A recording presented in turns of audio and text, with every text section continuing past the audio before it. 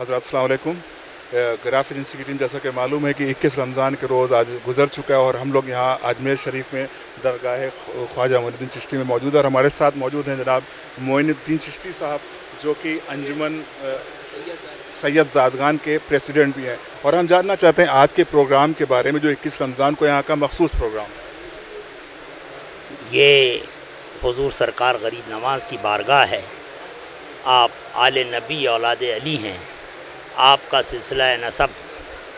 बाप की तरफ़ से हुसैनी हैं और माँ की तरफ़ से हसनी है। आप हुसैनी अल हसनी हैं, नजीबुल तरफ़ैन हैं। और हुजूर सरकार गरीब नवाज़ की बारगाह में आज 21 रमज़ान योम अली है।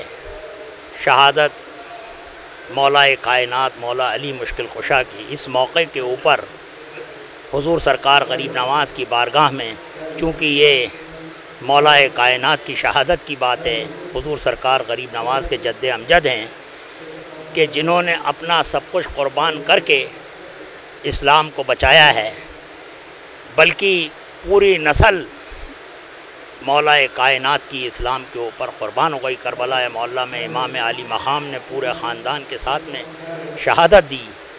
तो हुजूर सरकार गरीब नवाज़ की बारगाह में जितने भी पंजतन पाक के योम होते हैं और जितने भी इरास होते हैं, जितने भी जश्न होते हैं, जितने भी विलादत के जश्न होते हैं और जो भी तकारीब पंजतन पाक के हवाले से और तमाम मशाइ उज़ाम के हवाले से बारगाह गरीब नवाज़ में यहाँ पर मुनद की जाती है हमेशा। खुदाम ख्वाजा की जानब से आज इक्कीस रमज़ानमबारक है। आज के दिन योम अली का प्रोग्राम बड़े ही तुस्को एहतशाम के साथ सरकार गरीब नवाज़ की बारगाह में मुनद किया जाता है। इस प्रोग्राम में बाद नमाज़ असर मौला कायनात का रोज़ा की सवारी होती है, जो मक्का हाउस लंगर खाना से होती है, और तमाम महबान अहल बैत, तमाम शरीक होते हैं। और वो जुलूस की शक्ल में निज़ाम गेट होकर के बार गाह गरीब नवाज़ में दाखिल होते हैं। महफिल समा के साथ में कौल रसूल मकबूल सल्लल्लाहु अलैहि वसल्लम पढ़ा जाता है। मन कुन तो मौला हो, फ़हाजा अली मौला। उसके साथ में आपका रोज़ा मुबारक। वहाँ से सवारी होकर के, निज़ाम गेट से होकर के, दरबार में दाखिल होकर के, हाथा नूर से होकर के और यहाँ पर जो इमाम बारगाह है, मकबरे में, वहाँ पर रोज़ा मुबारक रखा जाता है। उसके बाद में अफ्तार का अहतमाम किया जाता है, जो तमाम ख़ुदाम हजरात की जानब से बारगाह गरीब नवाज़ में यूँ तो एक रमज़ान से लेकर के और पूरे तीस दिन तक शहरी और अफ्तार का इंतज़ाम तमाम ख़ुदाम हजूर सरकार गरीब नवाज़ की जानब से बारगाह गरीब नवाज़ में जितने भी ज़ायरीन होते हैं, उनके लिए होता है। खसूस आज के दिन इक्कीस रमज़ान को खसूस अफ्तार का अहतमाम किया जाता है।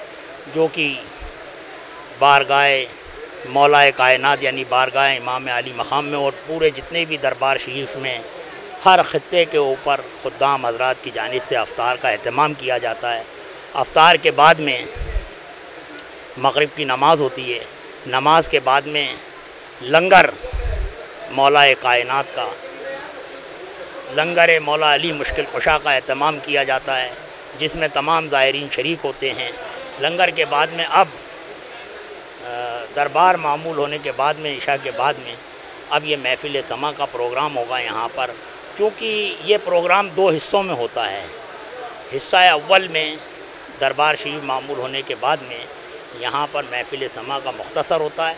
उसके बाद में, यहाँ का प्रोग्राम के अख्ताम के बाद में, फौरी तौर के ऊपर बारगाह मौला कायनात में, वहाँ पर जितनी भी शहरी पार्टियाँ होती हैं यहाँ पर वो अपनी अपनी जानब से मौला की बारगाह में सलाम पेश करते हैं और एक उनके हौसला अफजाई के लिए हमने ये रखा है कि जो भी उस प्रोग्राम में, मनकबत में कुछ मुनसिफ हजरात को बिठा दिया जाता है ताकि वो उसमें जज करते हैं और बारगाह मौला में जितने भी कलाम पेश होते हैं, सभी बारगाह मौला में मकबूलियत का दर्जा हासिल रखते हैं, लेकिन उसमें जो पहला इनाम जो सबसे अच्छा पढ़ते हैं, जिनका कलाम सबसे अच्छा होता है, ताकि दूसरे लोगों की भी हौसला अफजाई हो, आइंदा वो भी अच्छा करके लेकर आएँ।